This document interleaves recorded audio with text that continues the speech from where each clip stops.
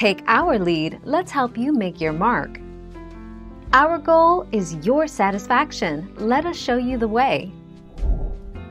Scientists think that the universe is almost 14 billion years old. There are different theories for how the universe began. The Big Bang Theory says that it began when a tiny but dense mass of energy exploded. Einstein himself did not come up with the theory.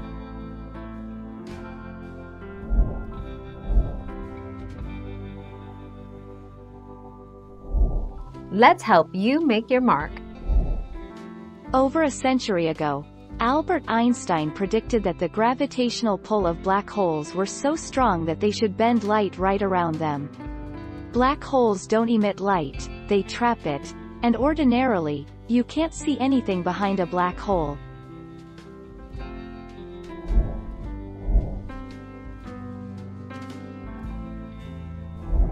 Let's help you make your mark. In contrast to this model, Albert Einstein proposed a temporally infinite but spatially finite model as his preferred cosmology during 1917, in his paper Cosmological Considerations in the General Theory of Relativity. Thank you for watching. Please subscribe and hit the bell notification.